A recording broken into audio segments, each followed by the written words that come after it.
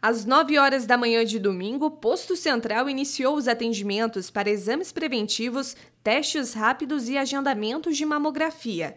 Fernanda foi uma das primeiras a realizar os exames, uma prática já habitual para ela. Aqui em Pato Branco sempre tem a promoção de eventos né, contra a prevenção e esse é o intuito de vir todo ano, né, para a gente poder ter uma noção de como está o nosso corpo devido à gravidez, então a gente tem que ter sempre acompanhando. Né. A ação promovida pela Secretaria Municipal de Saúde contou com a participação de mais de 100 mulheres. A gente faz esse tipo de campanha para chamar atenção e para lembrar as mulheres do autocuidado. Embora a ação tenha ocorrido no domingo, as mulheres que não puderam participar ainda têm a oportunidade de agendar seus exames. É importante a gente lembrar que o Outubro Rosa é um momento para a gente chamar atenção para o cuidado.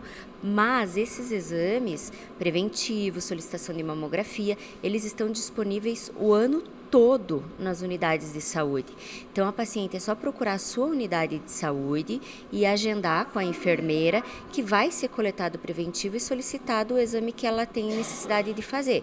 Então, não é só no outubro que a gente faz esses exames. Os exames estão disponíveis o ano todo em todas as unidades de saúde do município.